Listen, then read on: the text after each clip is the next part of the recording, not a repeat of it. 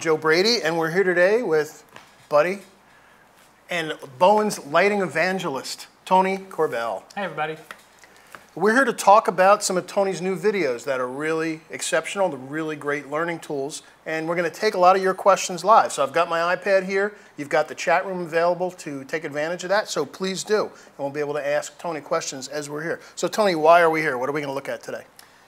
Well, I think the concept here was to do a, a handful of videos of things that people most want to talk about.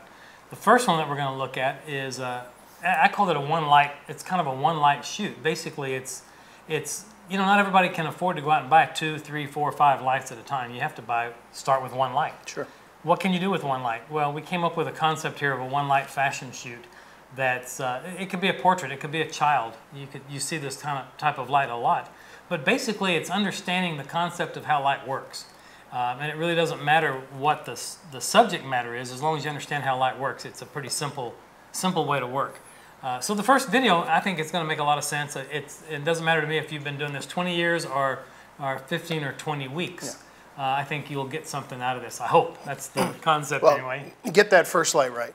If you can get the, get first, the first, light right, then life gets real, really easy for you. So then, if, and by the way, these videos aren't long. They're three or four minutes. Yeah, they're not very long. So they're really going to be quick and to the point. Well, then we'll take your questions. The second video is going to be more of a dramatic lighting.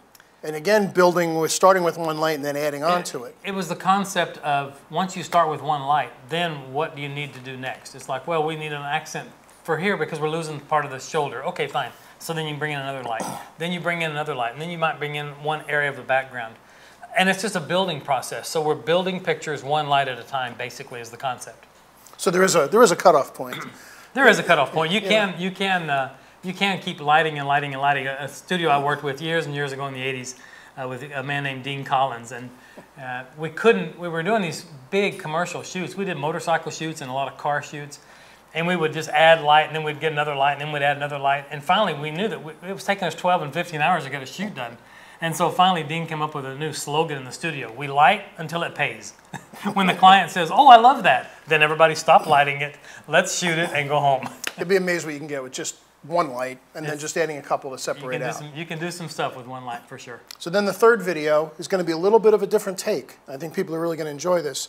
Kind of a symmetrical lighting from behind. You know, it's, it's, a, it's a light that's very, very popular, and it's a, it's a style of photography that we see all over the place right now. It's published widely. You see it on magazine covers.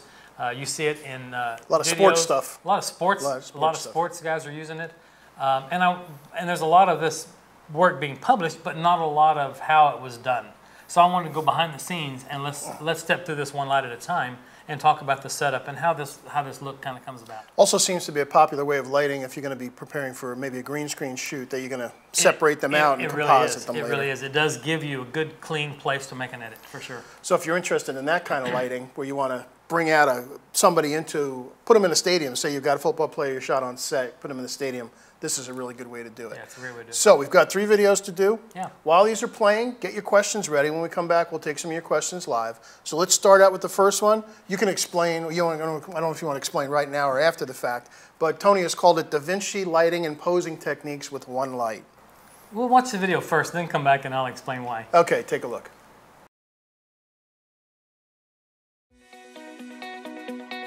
I did a little bit of research a few years ago on Da Vinci.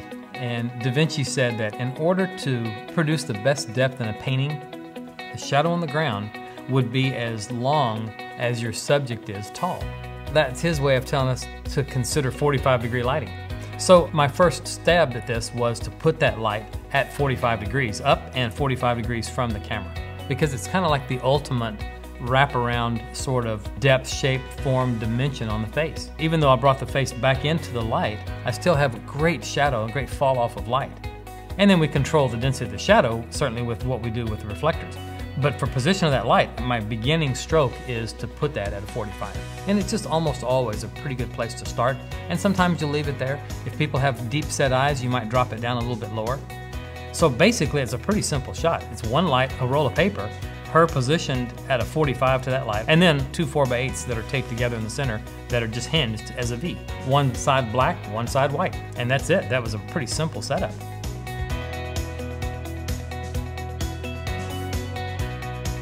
clearly working with the white and the black, there's an advantage and a disadvantage to both. With this gown backed up enough to where I can see all of the gown, I know that the white is the choice because I can see the white reflected in the sequins. But I also wanted to come in close too on that face and then bringing in the black, which just takes light away from that and gives me a, a negative fill. And it just gives me a little bit more drama. So I can quickly go from one to the other without having to change my setup at all. It's just moving out the white, and putting the black in place. You know, for this shot, this model is so great, and I wanted her face to be open. And what I mean by open, I want her face to be more in the light than out of the light. So I was trying to direct her to work just slightly off axis to the camera so she's not flat onto the camera and with her bringing her face backing up to the light a little bit. And when I do that also, I think I can direct her to her best attributes and show off her best features by just working with her a little bit, bringing her head back in, watching closely her legs, her arms, her feet. With someone like this, you can't hardly go wrong. It's hard to miss. You know, the beauty of a shot like this is for new photographers especially that don't have a lot of lights. They don't have a lot of money to invest in a lot of lights, and they may be new in a small studio or they just might be just starting out. If you can find one light source, you're in business. This could be just an umbrella. It's not as big and it won't be as soft as the one I'm working with, but it's still a starting place and it's something that you could do easily.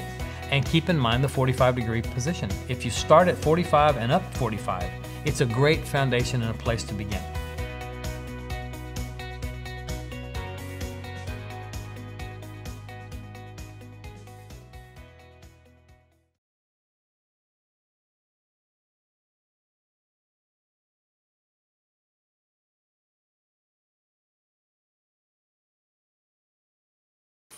Uh, it just goes to show you can get great images with just one light. You can. You don't have to have it, a lot of It's all about placement and uh, and and sort of thinking it through. Just just think forward a little bit, you know, and it works. That's something we need to explore more in the future, the whole thought process for doing some of these things. yeah. So you called this Da Vinci lighting. We've all heard about Rembrandt and Loop and short and broad. How'd you come up with Da Vinci? Well, it's what I was talking about in the in the video. Um, you know that that whole notion of Da Vinci saying, you know, the shadow on the ground should be as tall as your, as as long as your subject is tall. Okay. So for me, that it is 45, and it is Da Vinci that sort of came up with it. Photographers all over the world know that their subjects seem to look best when their light is at 45 degrees. Well, that's where it came from. It, it, it, da Vinci is the one that said, you know what, at 45, it really does look good. There's good depth, shape, form, dimension, all of that stuff. Uh, Rembrandt gets credit for the Rembrandt style light on the face with the patterns of the face and the patterns of the shadows on the offside the of the nose, yeah. you know, with the tri- little triangular light on the cheek and all that sort of thing, and that's great. But the 45 thing did come from Da Vinci, and Da Vinci, uh, you know, there's a little small booklet that uh, you can find online called a treatise, T-R-E-A-T-I-S-E, treatise on painting, and there's one called Da Vinci, uh, and it's a small little pamphlet that's 10 bucks on Amazon, I think, and there's a chapter in there devoted to just shadow, light and shadow, and he talks a lot about that, and it's really, really worth, it's a worthwhile read. all right. So. So we've got some questions coming in uh, based on the, the shoot we just saw. And obviously you got great shots with one light. If you had to pick one or, or a couple, what are the best light shapers when you just have one light to use? I think I think that's a that's that's probably the best question, Okay. uh, and I think the question is best answered by it depends on how much of the subject I'm going to see. What I mean by that is simply this: if I'm going to do a full length, you saw this was a very very large octobank that I worked with. It was a huge source because I've got to shoot full length, and I wanted the shadows not to be sharp edged uh, uh, from the model, and I wanted the light to be able to reach past her to that that gray wall. So in order to do that, I needed a big, big source. If I was coming in three quarter, I could come in with a little bit smaller light shaper. If I was coming into a headshot, I could come in with a little bit of a smaller light source. So my answer is it depends on how much of my subject I'm going to see. Okay. Now, what's interesting is when you when you do a 45 degree one light shoot like this, as I back up to see more of my subject and I pull my light further and further away, as I pull my light further and further away, I got to raise it and raise it and raise it. To keep that 45 To keep that same angle. Yeah. Okay. sense? So How about position to the camera? um, that's it. If, as long as it's at a 45 to my camera and 45 up. Okay, so it's then 45 off and- 45 off and, and 45 up. Gotcha. However, and here's where it gets tricky. there are some people's noses that won't allow that, And eyes. and there are some eyes that won't allow that. So you do have to have. It's kind of like the rule of thirds. It's a good starting point. It's a great starting point, but then sometimes there uh, there might be a fence post in the way. So you gotta you know you gotta uh, make an adjustment. yeah, when you have the nose that's a big Yeah, bend or deep sometimes. set That's eyes, right. then That's yeah, right. either that or reflectors or Yeah, something. Okay. right. So you kind of mentioned this, but size of light source, how is that going to affect what posing you can do? Yeah. I know you like to be close. Well, I like I like I always always go back to the rule that I learned and that I that I teach in my workshops, which is the size of any given light source is always relative to its distance to the subject. So, uh, and that's I preach that in my week-long workshop: size relative to distance. Uh, the 30 by 40 softbox is a big softbox when it's really close. Yeah, if it's it's- 25 feet away, it's a small softbox. Yeah, becomes a So point light source. It becomes a point light source at that point. So you really do have to keep in mind that the size, how its its relative placement to the subject is everything. It's key to everything because it, it, it covers and handles the three major things, which is the edge of the shadow, the size of the highlight, and the brightness of the highlight. All three of those are controlled by the size of the light source.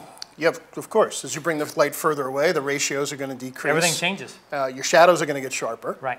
So- your highlights become smaller, and as they become smaller, they become brighter. So, just one light, One light. just changing the Yeah. distance. Backgrounds.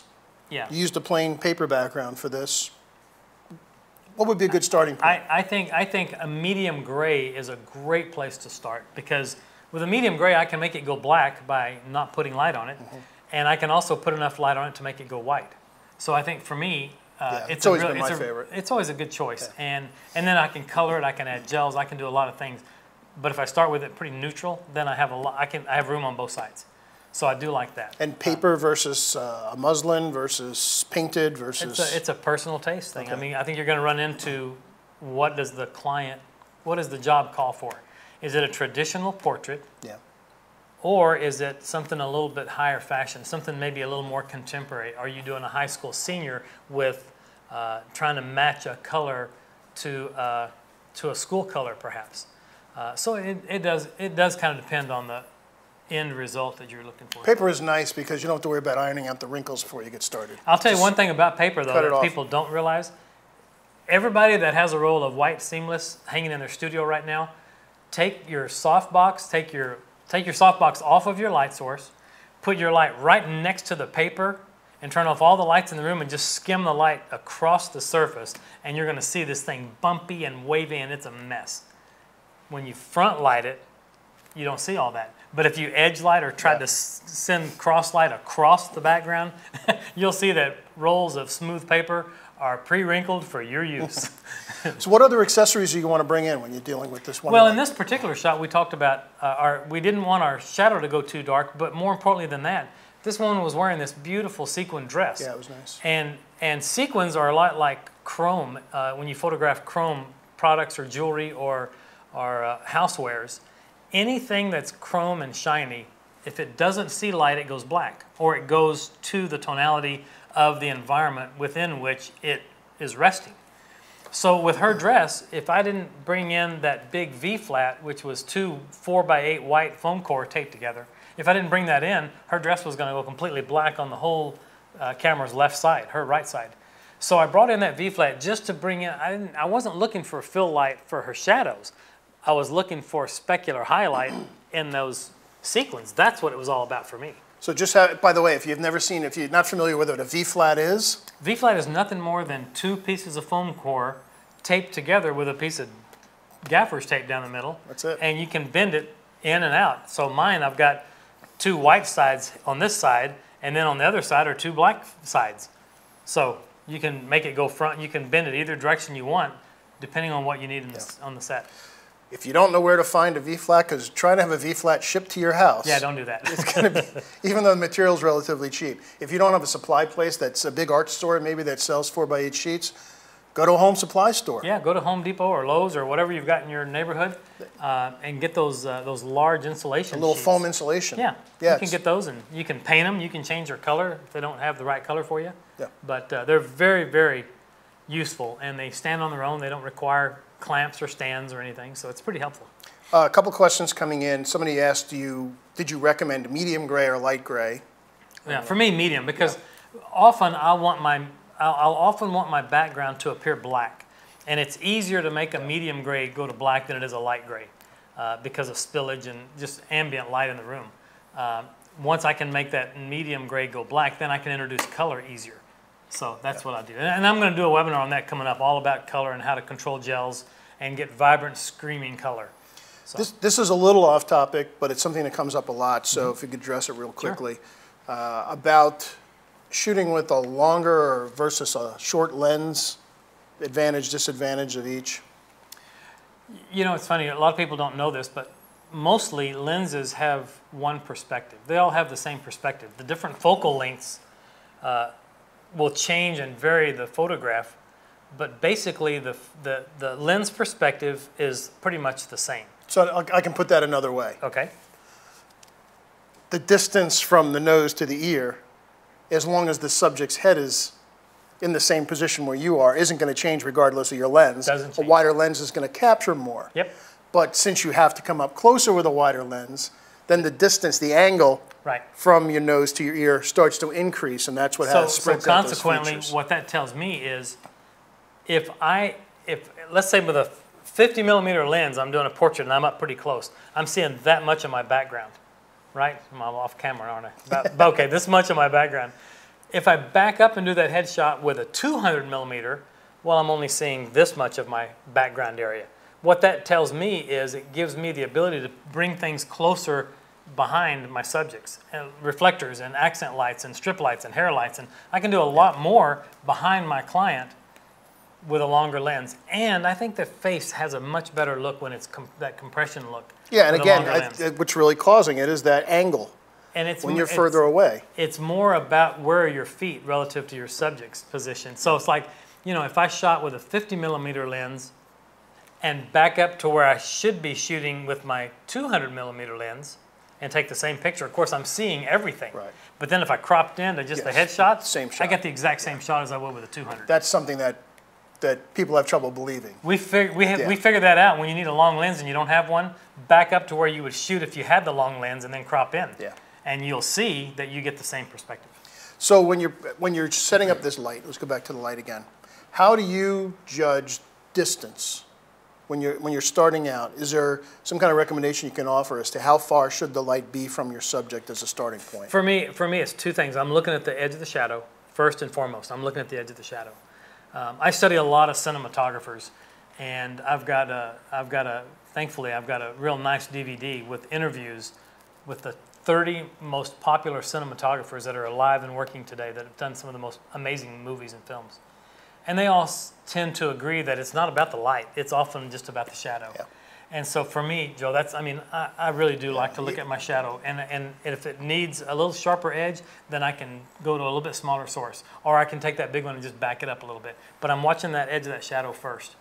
That's my first decision, and Yeah. then after that, then I'll look at the highlight and make sure the highlights. I know you're going to be exploring this more in the future, but really, the closer you get, the grade, the gradation from light to dark is going to be softer. It's going to It- be it's- gentler. It's, a great, it's a larger, wider gradation. You brought up something, uh, Tony and I were talking before we started today about mov- old movies and cinematography. And most of us, at least before you got, before I know before I got into photography, I'd watch a movie just to watch the movie. Now I find myself almost watching the cinematography and where's the lighting and what's going on more than the movie sometimes. I'm the same way. I'm not fun to watch a movie with because But these guys, but the really, the, the, the point is, these guys knew what they were doing with lighting. completely, So it's a great place to look. absolutely. for portrait lighting, Absolutely. check to see what these, these great cinematographers did. And I think there's something about the black and white movies that makes it easier to see the lighting patterns. is. Yeah, Hitchcock. Go find any. Go watch any Alfred Hitchcock movie. Hitchcock made the comment. I mean, the light quality is really good, and it's hard edge, and it's very film noir looking and sometimes. But he, but he, he made the comment in an interview before he died about uh, making a lot of mistakes with his lighting. But he says, if I've done my job properly, in my genre of suspense, you're bought into the suspense of what's going on, and you'll never notice the mistakes in the lighting. Um, but I love that kind of a look. But then I also like there's a, there's a really silly movie out there that we, some of you have seen some of you would never see, and I, I would never recommend it except for one thing. It's the movie's called Crouching Tiger, Hidden Dragon. I love that movie. It's the goofiest movie. I mean, they're having kung fu fights on top of a tree. I mean, it's really got the crew laughing. It's they're having kung fu fights on the top of a tree, and it's a really silly, stupid movie. Except that the cinematographer for that film was a guy named Peter Powell, and Peter won the Academy Award for Best Cinematography that year from a movie that was a B or a C class movie. But look at that film, and you can fast forward to any place in that movie and hit stop, and you'll see extraordinary lighting on every Yeah. on every frame. It's really exceptional lighting. That's something as we as photographers, we, we again, we have a tendency to skip by many. Take some time, watch some of these old Yeah. movies, watch what they're doing with the light, because these guys were masters of lighting. Yeah, true. Let's move on. Okay. All right, so we've seen, some, and there's more, I- you guys have more questions, we'll get to them. Let's just take a break and, and move on a little bit. So the next one, after you got the first light done, uh, you titled the second one, Building Dramatic Portrait Lighting One Light at a Time. Yeah. Yeah, I think that's exactly it. We just finished a one light shoot. So now let's talk about okay, so now we got we'll do the next one with one light. Then we'll see what's missing and we'll add another piece to that. Then we'll see what's missing and add another piece to that. So we'll just slowly start building up the process. And we might also say that sometimes adding another light might just be bringing in a reflector.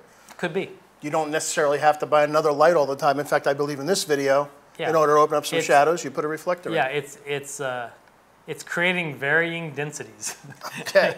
All right, so let's watch the next video and we'll come back and take some more questions.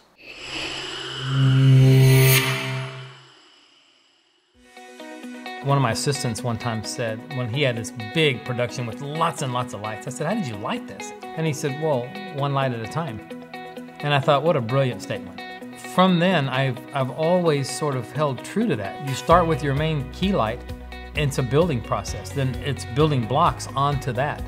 So once you start and you've established the foundation, bam, there's your main light. That's your key light. Then you just start adding one more and one more and one more, and you're exposing for those and you're setting their exposure and their, their output based on that first one. And in this case, especially, there's a lot of light and dark. And the idea with that was drama all the way. I just wanted drama. So basically, let's just walk around the set real quick. Let's talk about this shot from each element. So the first element is the main light. The main light is a grid spot up high, really accenting my subject's face. I did notice that it was spilling onto her chest a little bit, so we brought in a double net, which just knocked off about a half stop of light down the lower portion of it. We just slid it right in, covering about the lower third of that grid spot. Our second light then is the small or medium softbox that's really sitting on the ground with an egg crate in front of it, skimming light right across the front of her gown. All it's doing is opening up that lower corner of the photograph. That's I just didn't want it to fall to black down there. That's the only reason for that. And then in the background we've got our twin grids. And again, this is just because this is Hollywood. I'm just trying to make this look a little bit more of a glamorous shot. And so the controls there are how small or large the spots are, how close they are together, and their elevation, how high are they. So you can see that we've put them in such a way that there's a big negative space right between the two, and that's where I placed my model. And it came together exactly as I had sort of foreseen that it might. When you take on a role of a shot like this, you have to be in charge of this photograph. You can't just turn the model loose and let the model just pose herself because the sweet spot of that grid is so small that you've really got to direct her. And so my direction of the model was basically to keep her face in that hot spot where the exposure was dead on. And I really wanted those catch lights to be bright and shiny and really look crisp. So to do that, I know I had to work with her. And you can see I've got her shoulders a little bit away and then I have her head over and then up and then I would have to bring her eyes up. This required a little bit more maintenance on just getting her face in the right position. I think if you're interested in doing this kind of work or this kind of a picture, do yourself a favor and go back through and find pictures, find old pictures from the Hollywood heyday, you know, and tear them out of a magazine and make a little folder with all your tear sheets and go through and pick out what you like and really closely look at it and try to determine how it was lit. Look at the highlights and look at the shadows and that'll tell you everything. The catch lights in the eye will always tell you how something was lit. So that's a really good place to start. Uh, but then just kind of walk around the set and start adding to that. And you can see that sometimes it was done with one light, sometimes it was done with six. Determine what's going to work best for you and for your style and the direction that you want to go.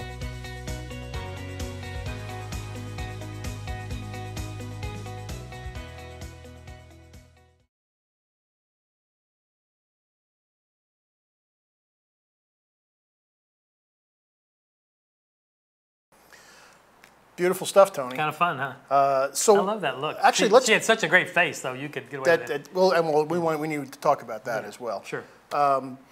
But what do you think defines just the word dramatic when we're talking about portrait lighting?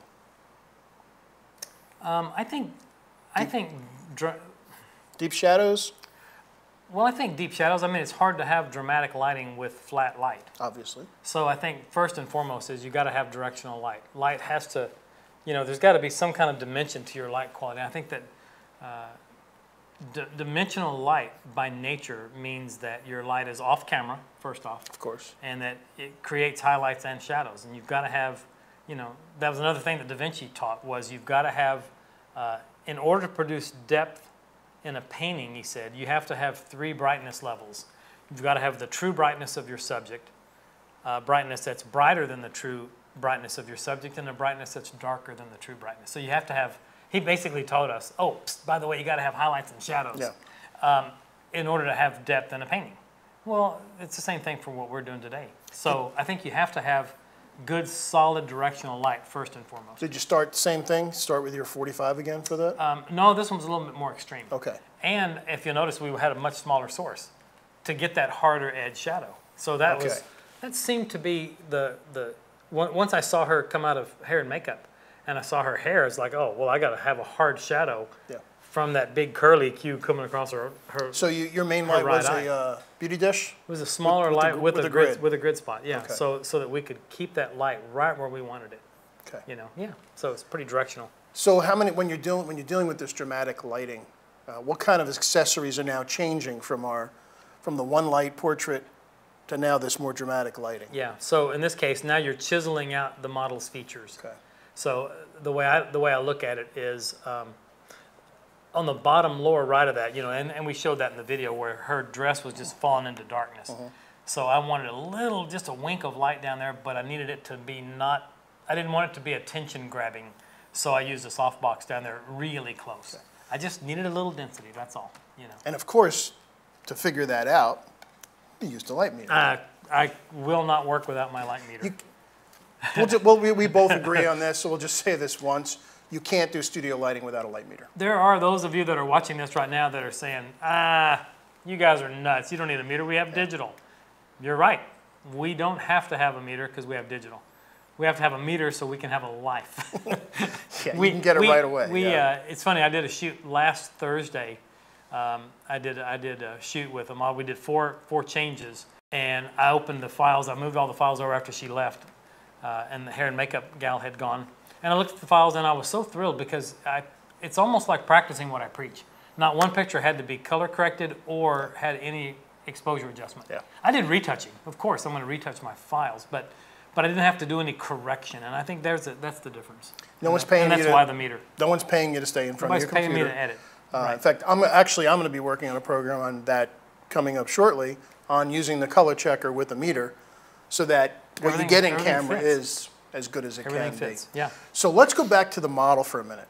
Okay. We have this beautiful woman come in who's Madalena I- had beautiful so makeup great. done. Can you do this kind of lighting with someone who isn't a professional model, just somebody normal coming into your studio?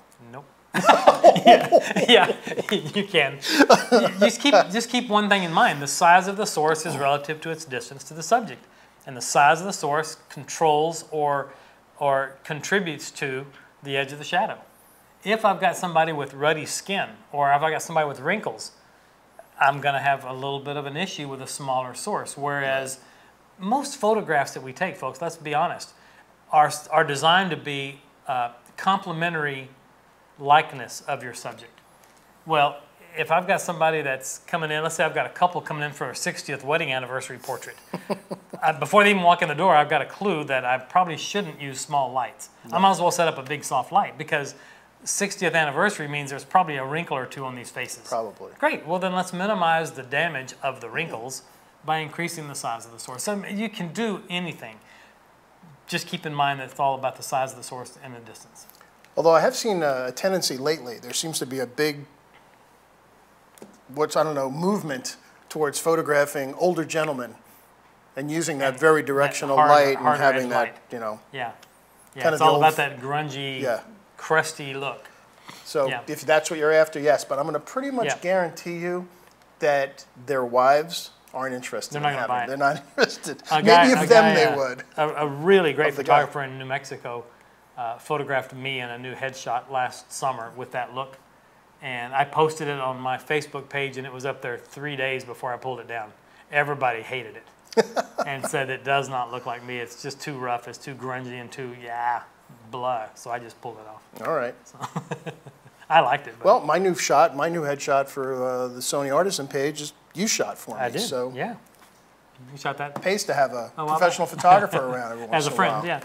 Uh, so why did you choose on your background? You started bringing in those lights. Why did you choose to use those two lights on the background? Um, that was a, that was a, a thought as we were setting up the shoot with my first main light shot uh, by itself. I thought, oh, it'd be nice if I had a little burst of light back in that corner. And then I thought, well, if I'm going to do that, why don't I just balance that with another burst of light in the other corner? So if you think about that, once you know, it's almost like there was an old an old portrait guy named Monte Zucker that said, you know, when you when you start a session and you don't know what you're going to do quite exactly, and he said, go back to that. He said, I, he always called it the basic pose. Go back to the basic sh- pose.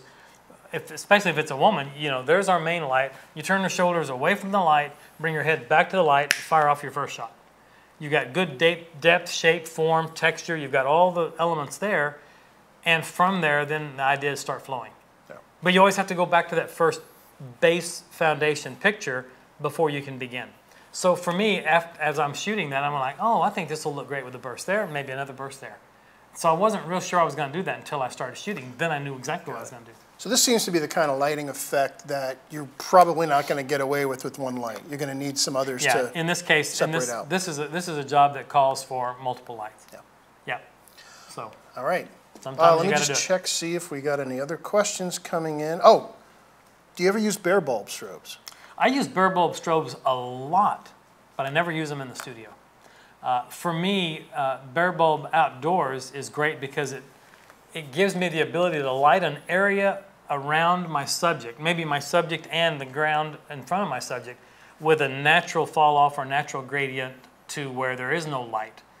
Uh, in the studio, I don't really necessarily need that so much, so I don't do that in the studio at all. But I do use that outside quite. It's a great technique outdoors, really great technique. Uh, and I'll give you a little tip on how to use it properly. Find your primary directional of light, uh, and if you're not sure, uh, my little trick is I always put my palm on my hand up, and I, and I just put this finger about an inch away, and I just move them around like this, and I'm looking for the shadow. When I find the shadow on my palm, then I know where the light's coming from. So then the trick is, if you're going to use a bare bulb, have it in the same location that your light's coming from anyway. Let it augment whatever ambient light is, and you'll have no idea. conflicting shadows. So, little tip. Good idea. uh, excuse me. Uh, actually, hey, a little shout out to the Mission Prep High School just joined us. Oh, great. And uh, they're showing this webinar during their class. Oh, right on. Now, they asked if we could show the images that we're discussing. Unfortunately, we don't have them separated Oh, we didn't separate them, But they are on the bowensusa.com website if you scroll Perfect. down. So if you go on to bowensusa.com and you scroll down underneath where Tony's programs are, you'll see stills from each of the videos that we're talking about. Yeah, that's great. Well, thanks for you guys being here. I know it cuts into your uh, class time, but I appreciate that a lot. I want to also give a shout out to to uh, a guy that I kind of sort of grew up with in Ruidoso, New Mexico. Uh, Herb is watching from New Mexico. Herb, thank you for tuning in. Herb was a was a great great inspiration to a lot of us growing up in that little mountain community. And of course, I have to say hi to Miss Mandy in Muskogee, who's editing this afternoon. So, and to the rest of you that didn't get mentioned, we're happy you're here. Yeah, too. we're all- So we're glad you're all here. So we've got one more video to take a look Okay, at. yep. Uh, this is the one we talked about earlier with the symmetrical lighting. Um, has become popular as of late. Yeah, we see this. We see this picture a lot. It's you see as soon as you see it, you'll know what we're talking about. Um, what's interesting is that it really does uh, make almost anyone look better. So let's get back to our, our model shoot. So this is the symmetrical flash mm-hmm. lighting techniques. We'll again take advantage of the chat room, send us some questions, and we'll be back as soon as this is done. Take a look.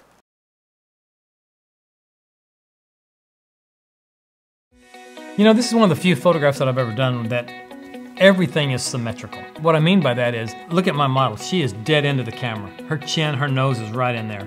Her eyes right in there. My main light is straight up above her nose and above my lens. So I've got the beauty dish up above with a grid spot.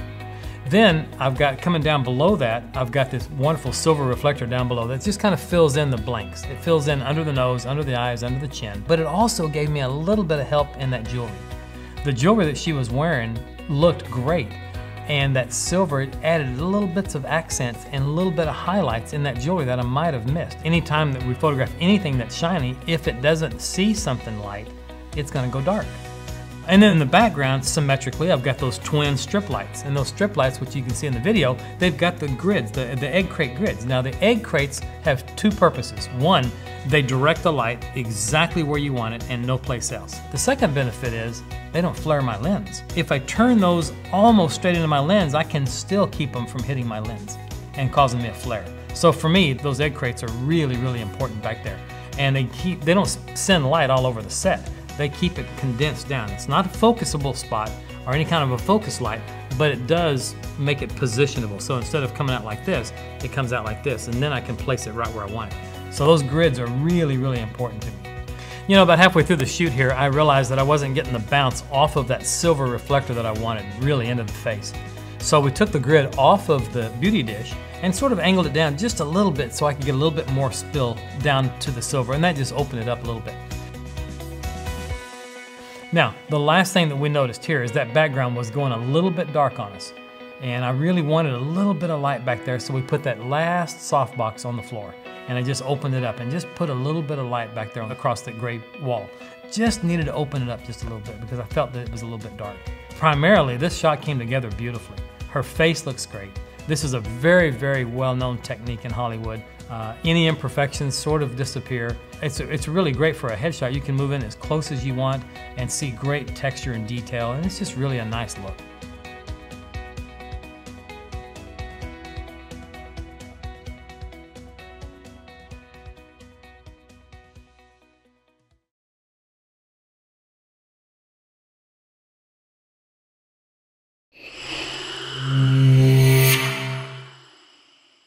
For that, all right, that's very cool. That's cool That's lighting, fun. become It's- very popular. Well, it's fun, and like I say, you're seeing it all over the place.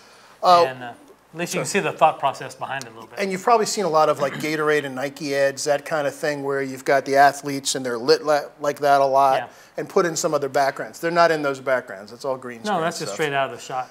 Uh, the, I mean, this is these are straight. But the, but you were, you were saying before we started that this is the type of light that makes it easy to edit later. Yes. Uh, that uh, some people call it hatchet lighting, where you've got hard edge light coming from behind that kind of chisels out the edges of the Yeah, it makes that separation off the sides of the head Yeah. much easier. Yeah, it does.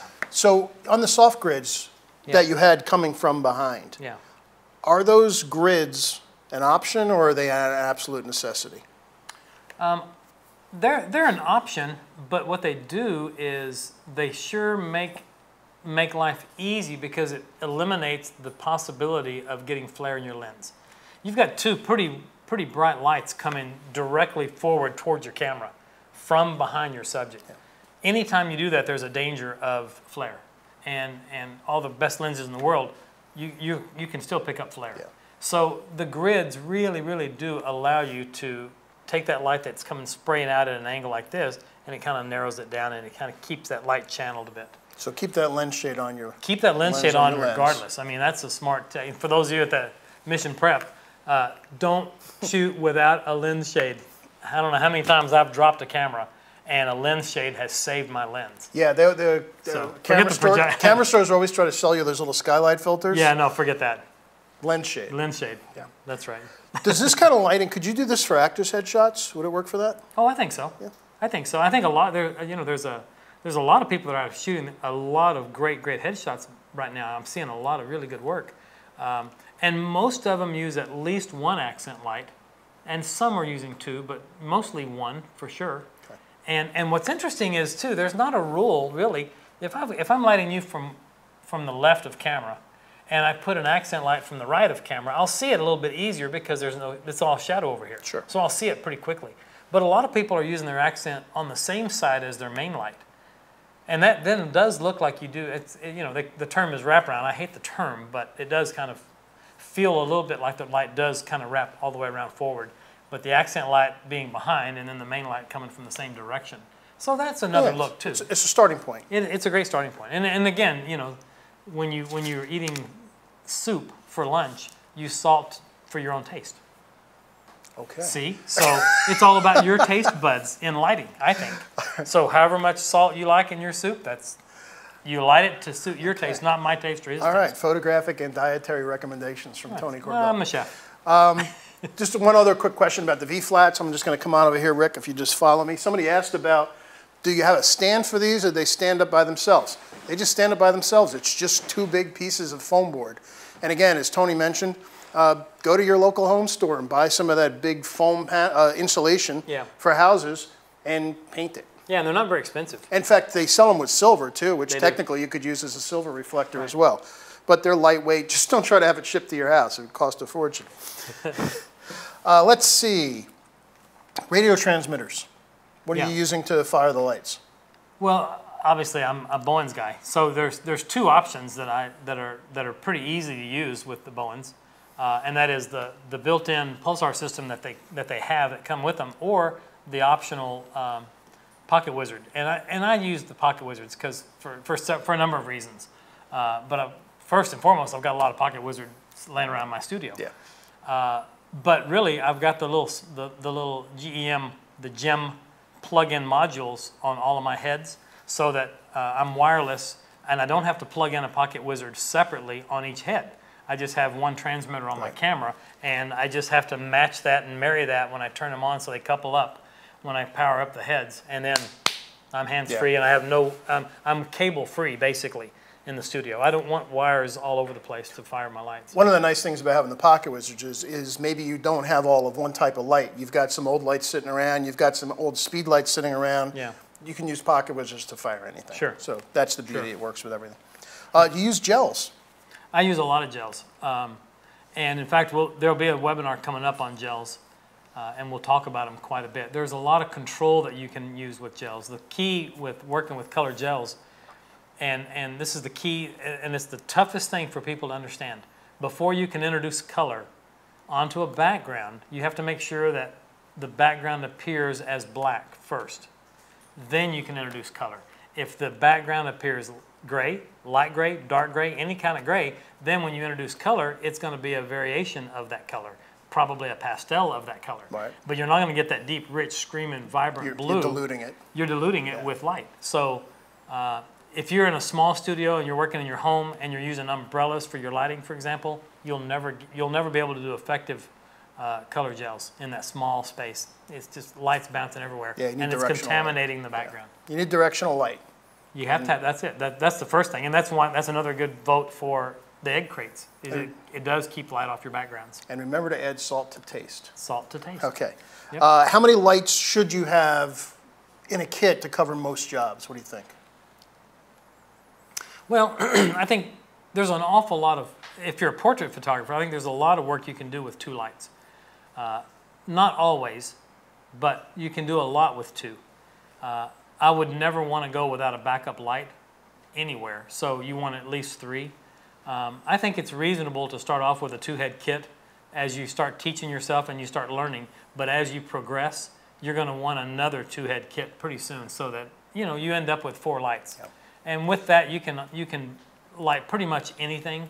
But if you're just going to do only headshots in a small room, maybe you can get away with one or two lights. You know, And keep some reflectors. You definitely want to use some reflectors That'll help For for, when you only have two lights. for sure. Uh, Tony, good question here. Somebody asked about light meter settings.